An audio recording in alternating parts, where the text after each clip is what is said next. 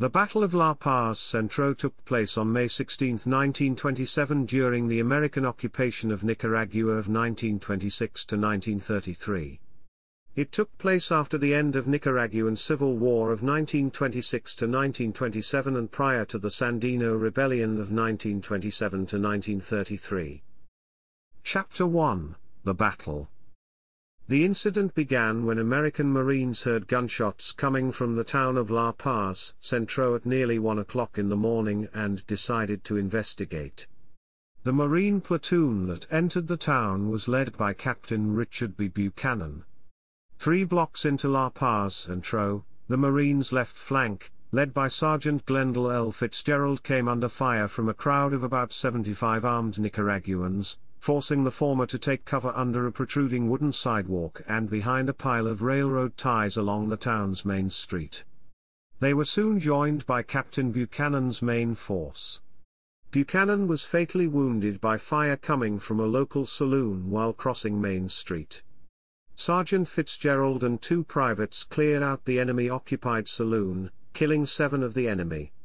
The Americans' four casualties were brought into the recently cleared building, with Buchanan dying at 2.30. Private Marvin A. Jackson was also mortally wounded. That was one boy that didn't want to die. His brains were sticking out of that bullet hole, and he didn't want to die said Corporal Donald L. Truesdale. The hostile Nicaraguans began withdrawing at 3 o'clock.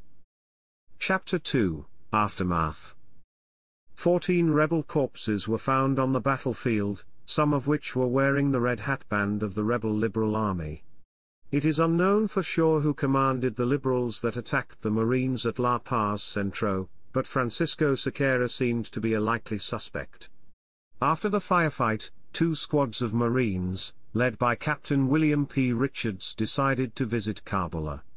On May 26, 1927, Captain Richards killed the Liberal general, as the latter jumped out of his bed to go for a pistol. Cabulla's mistress, Concepcion Alday, was also shot dead as she charged the Marines with a machete.